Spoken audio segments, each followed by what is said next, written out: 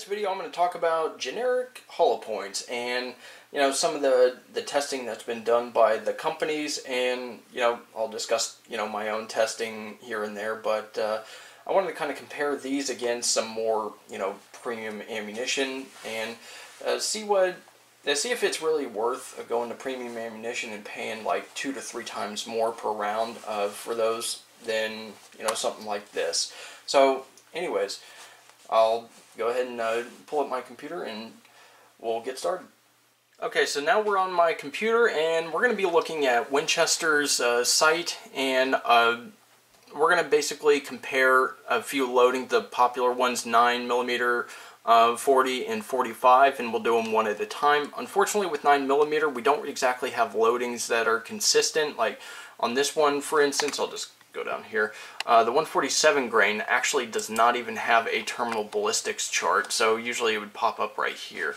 So we're going to have to basically just deal with 115 grain, unfortunately. Um, however, the, what little I do know about the uh, 147 grain, uh, it the white box, this generic white box, was actually used. I don't know if it was in the Ranger setting because Ranger has its own version of the jacketed hollow point as you can see here. This is in the Ranger section. Ranger actually has a jacketed hollow point section as you can see here. Has its own full metal jacket setting.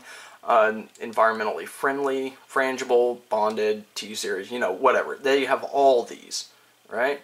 Okay, so um, they have the regular jacketed hollow point, which is basically the same construction as what you get out of the white box in here.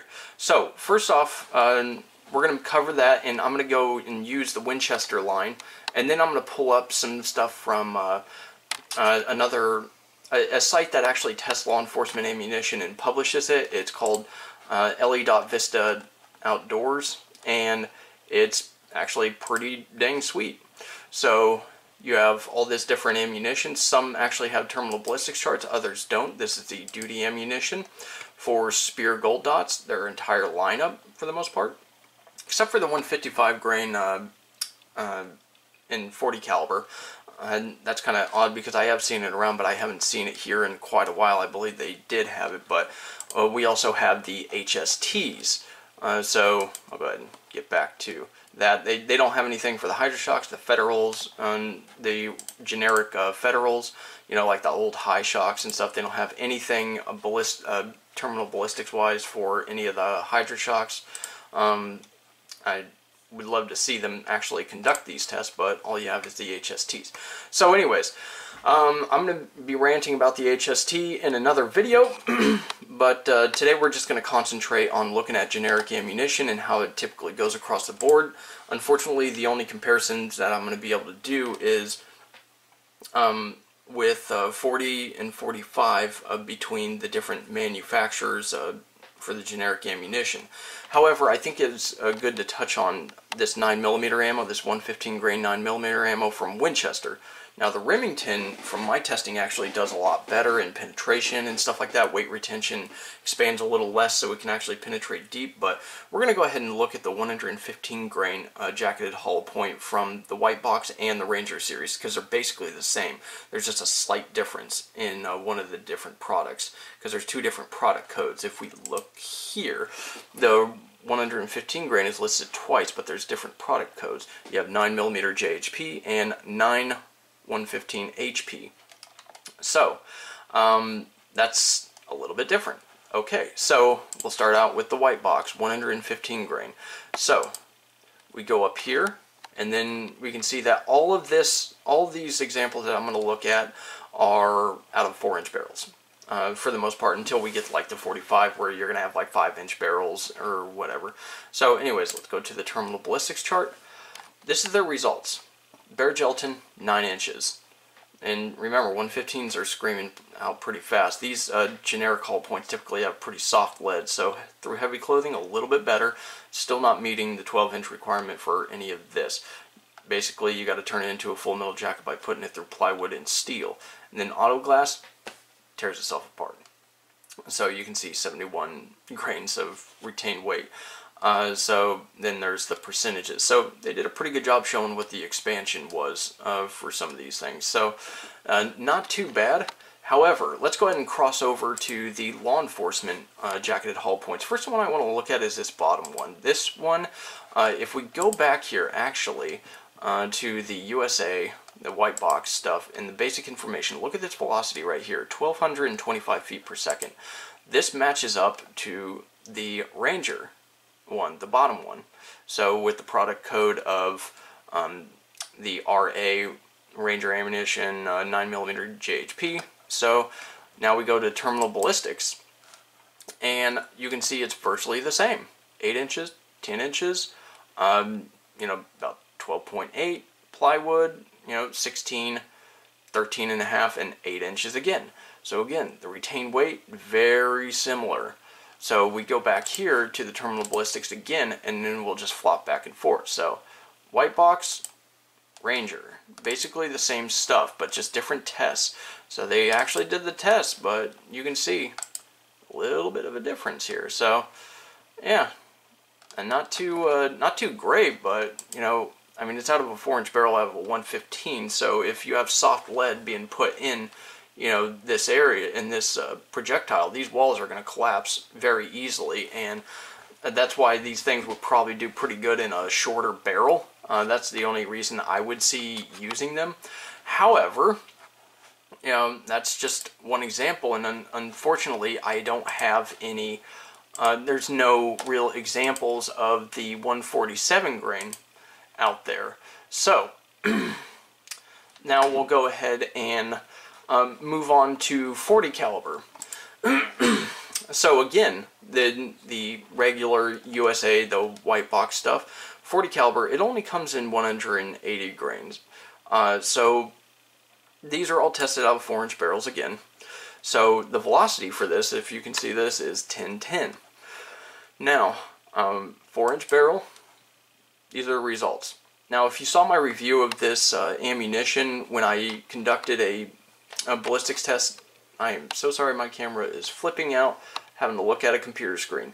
But if you saw my video uh, doing a comparison uh, with the Sig Sauer Elite Performance uh, ammunition, you saw that it did almost better than the SIG ammunition. stayed together a lot better, etc. This is the only ammunition that gets this good of results, especially through all these mediums. This is the only one where it falls short, really. And it doesn't meet that 12-inch requirement for the FBI. 4-inch barrel, I would say between 3.5 to like a SIG 2 239 um, and a SIG 229. Those two, between those two barrel links, those would be perfect probably for this ammunition. As soft lead flattens out pretty nicely, um, and it retains itself pretty darn well. Uh, it's the only one that seems to pass all the FBI specifications with relative ease. Um, this isn't that great, but it's not that bad either. Now, let me go ahead and go to the Ranger. It's got two different versions. It's got a 155 grain version and a 180 grain version. Now, remember, this was tested out of a 4-inch barrel. Again, it's basically the same round. But law enforcement sometimes likes lighter loads. So you can see that there's really not much difference here. Uh, the only difference is that the um, wallboard in the original USA stuff, you know, penetrated penetrated a little deeper in there. So we go here, it's basically all the same. So maybe they got exactly the same results in everything, including expansion and stuff, or um, you can see this one didn't even expand at all. uh, didn't even deform a little bit like what they did with wallboard. It just full metal jacketed and got good, got good penetration. But uh, I yeah, I, I mean, it's a little fishy to me, but you know, whatever. I mean, I don't really see any difference in the retained weight for this stuff, but you know, whatever. Maybe they um, just didn't record all the results on purpose. I don't know what the reason would be, but it would just be speculation. So another thing to look at actually, as with the um, the regular uh, jacketed hollow point from the white box, 1010 on the velocities here, 1020. So is that enough to really matter? Maybe, maybe not. Um, I I don't really care about velocities too much, but you know some people do. Some people want any increase that they can get. But this is what you're looking at for the 40 caliber. Now, since that since this actually goes in line with uh, others, there are 180 grain offerings in a lot of premium ammunition. Um, there are 115 grains in the SIG line, but I wasn't able to really find the 115 grain uh, testing, and plus I don't really necessarily trust SIG's uh, advertised um, results, but that's just me. So I've got, uh, I'll start out with the T series here, the beloved T series. We got a 165 and a 180. We're going to go with 180 to look at the results, see how much better this is than the generic hollow points.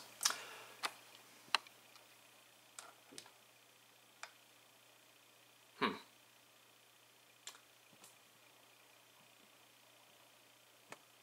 This is the T series. Hmm. Okay. That's the regular hollow point, the cheap ass hollow point. And here's the white box law enforcement, and then the T-Series. Hmm. I'm pretty sure these are very expensive and hard to find. Alright, so let's go ahead and move on. Let's go to the bonded version of the T-Series. How about that? The Ranger bonded. 165 again, and the 180. So, can it redeem itself? Yeah, kind of. Yeah, not bad, especially on auto glass. That's the toughest one. So I like uh, I like ones that can actually get more than you know 12, 13 inches.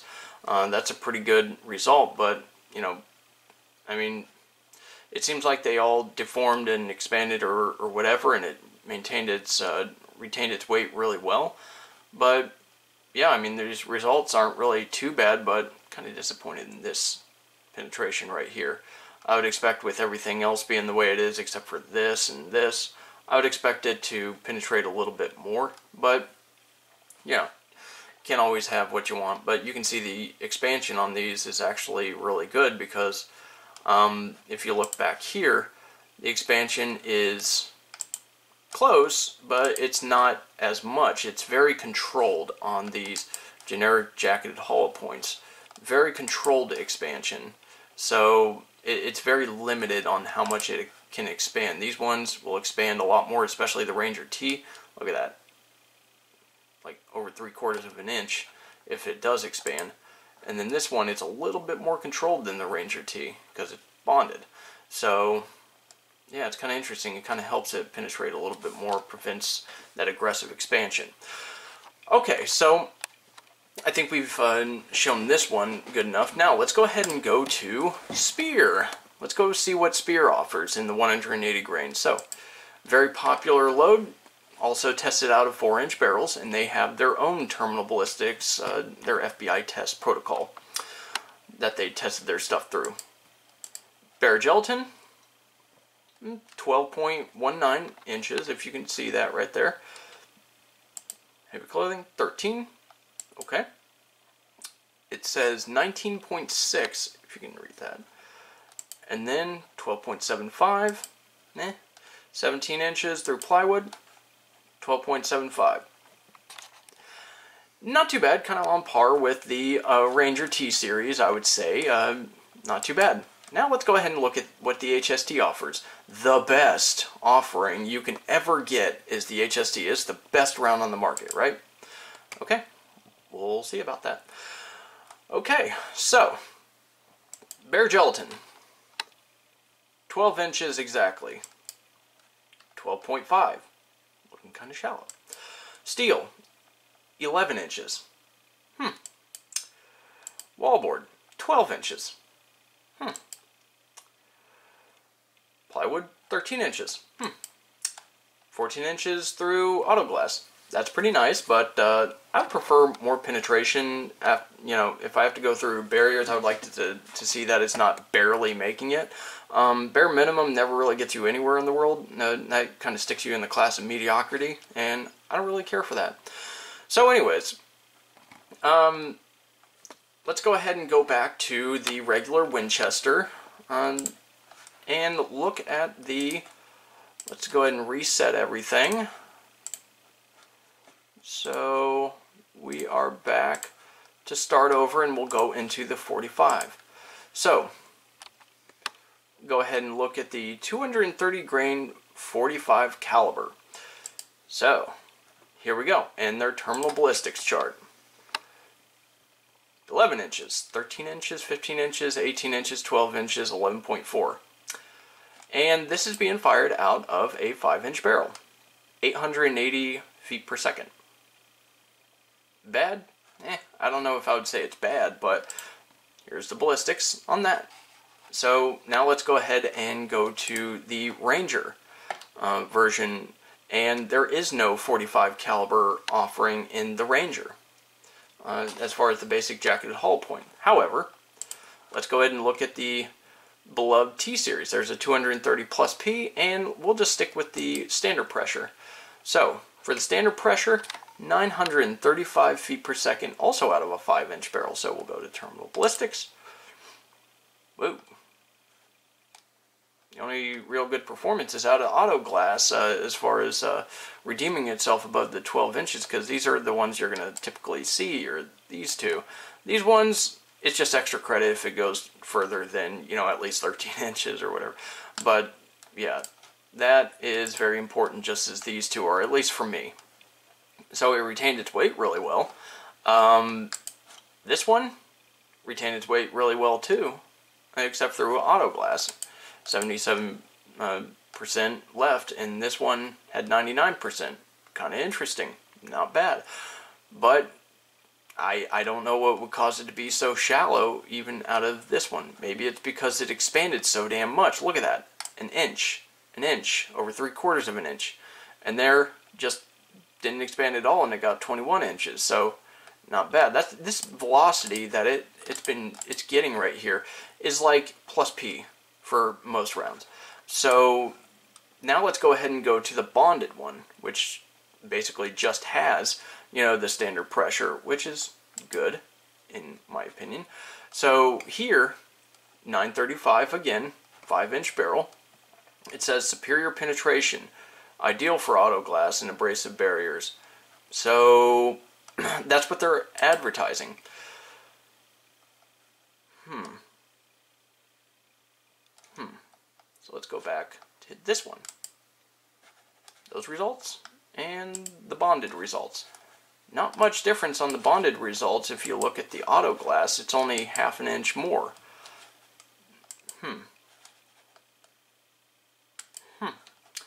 Yeah, not much difference there. It's just making it over the 12 inch mark for the bonded um, ammo. So, hmm. Is it really worth it? Or would you rather go with something that's non-bonded, less expensive, but gets very similar results? I don't know. This at least gets 13 inches in heavy clothing where this one doesn't.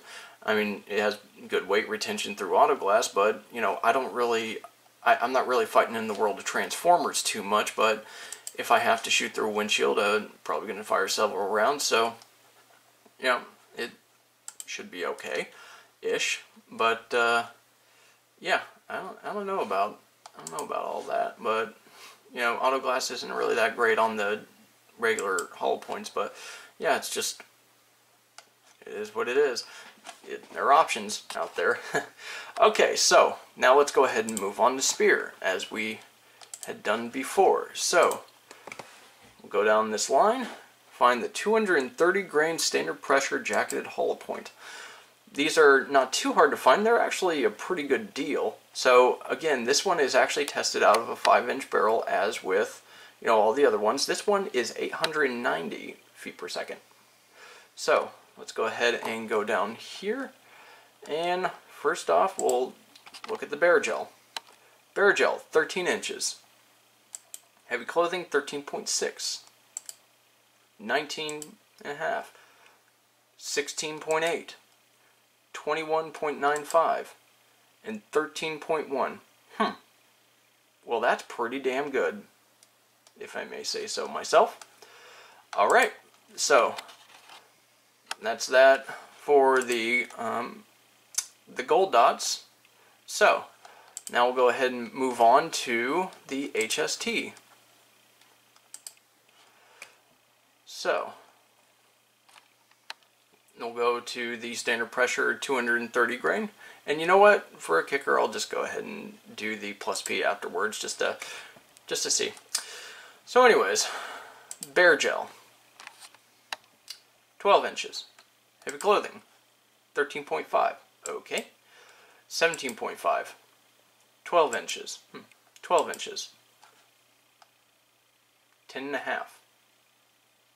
Hmm. Out of a 5 inch barrel. Going 890 feet per second. Okay. Now, let's go back here. Let's go to the plus P. Let's have fun with this, shall we? So, first one, bare Gel.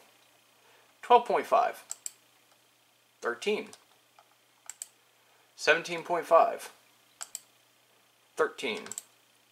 13. 10 and a half. Hmm. See, some of these uh, rounds are considered to be the most advanced and the best on the market. However, when push comes to shove, in a lot of these, at least the main calibers, not including like 38 Special, 357 SIG is awful in generic hollow points, especially the Winchester with how um, how soft the lead is. Um, most of the time, you're better off just getting a generic hollow point. However, like the 9mm 115, it's going too dang fast. I would be interested to see them actually complete the 147s. That way you could cross over and, and look at them but Winchester doesn't even have it in their regular Ranger jacketed hollow point section.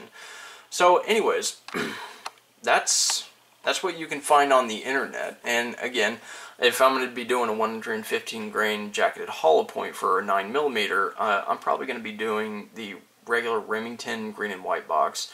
Uh, for my testing, it works just as well as a lot of the other premium ammunitions do.